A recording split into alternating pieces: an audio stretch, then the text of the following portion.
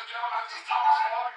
In just a few minutes, Elite Wrestling Entertainment will be presenting World Domination Part 2 live from the Desert Rose Pizza down here in beautiful Glendale, Arizona.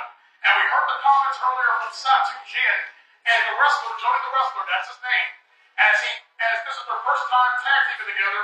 But they pulled up a, a tough assignment over here, as standing over here as we have a team that has won championships all over the region in all sorts of matches. I understand death matches as well.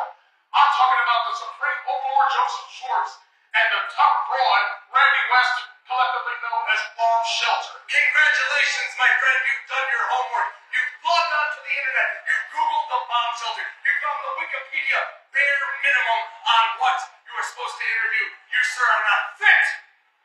Fit to You are not fit to interview the tallest broad in the business. I am the Supreme Overlord, Joseph Schwartz. This is the top broad, Randy West. Let me explain something to you. Let me explain to you how I take a look at sport of professional wrestling. See, everyone here is playing checkers. I'm playing chess. Everyone here is playing Monopoly. I'm playing Stratego. I am here to take, to dominate, and to own. Because I can, and because I will. Because we're not what you want. We're what you need.